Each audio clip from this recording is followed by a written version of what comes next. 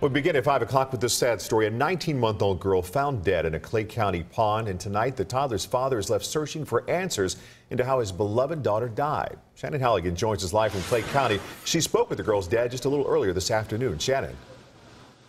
Well, the Clay County Sheriff's Department wouldn't allow us any closer to the pond while they investigate, and the father hopes that they do find out just what happened.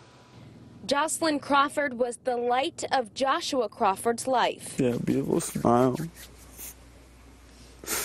The great personality. Can't believe she's gone. Jocelyn normally stayed with her father, but he decided to give her mother a second chance for a few days. She said she was clean. She didn't do, you know, anything. I took her word for it.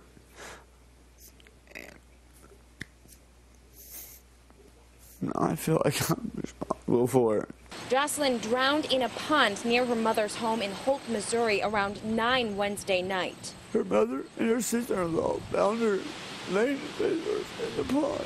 Joshua said he didn't find out until around 11 when he got a voicemail from Jocelyn's mother. So I called her and she was like, I don't even want to tell you. You're going to be mad.